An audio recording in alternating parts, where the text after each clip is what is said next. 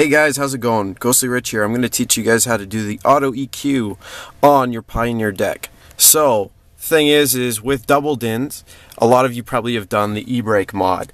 The problem is sometimes this doesn't work with the auto EQ. It does some funky things. It won't, uh, as soon as you click it on, it automatically thinks, you know, the e-brake's off.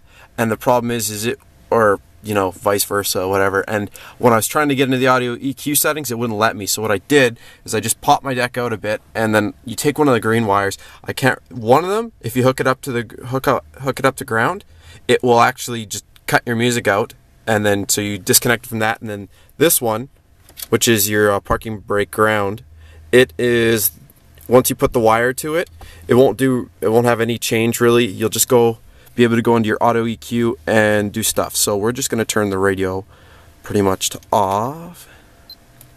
And then we're going to go to our favorites or this one. Or you, or you can click this button. This will get you there and you'll click on settings. And then once you're here, you scroll down and you'll have auto EQ measurement. You just click on it.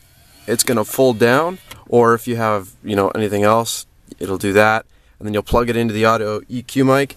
The best is to put it right there on your headrest. Now, this auto EQ mic actually is the same one they use for amplif- their Yamaha amplifiers. They're really cheap mics. If you've got an amplifier, you could probably just use that mic, or you know, you might be able to purchase them from somewhere for stupid cheap.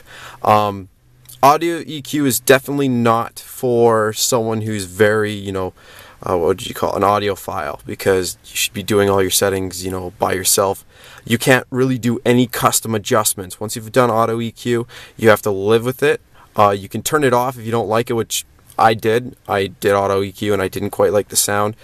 Um, so, yeah, you could do it this way. Once you plug this in, as you can see, it's going to say, please connect the microphone and press start. Once you do that, it counts down like a bomb, 10, 9, 8, and then it slowly starts. You can either do two things. If you have tweeters and you want your entire car to sound perfect, um, then you'll leave your microphone on the headrest and you'll jump out of the car and let it do its thing for 10 seconds. The other way of doing it is just sitting in your car and being absolutely quiet. That's what's really important is, you know, you're in a location where there's absolutely no sound. Don't do it on the side of a highway and don't, you know, do it in a place with a really loud air conditioning unit or anything like that. So, um, yeah, that's about it. After you're done, put your relay stuff back together. All it says in the end is press the home button and you're ready to go. Um, the deck that I'm using is the 8400 by uh, Pioneer. So I can't really you know, say how it's going to work for all your decks, but this is, you know, for helping people out that if they want some information on doing the auto EQ. And it's also, if you have a relay, it's, you know, if you're having problems doing it, this might help you out. So, if you have any questions, post in the comment section below. If uh, you like this video, like and subscribe. Thanks. Bye.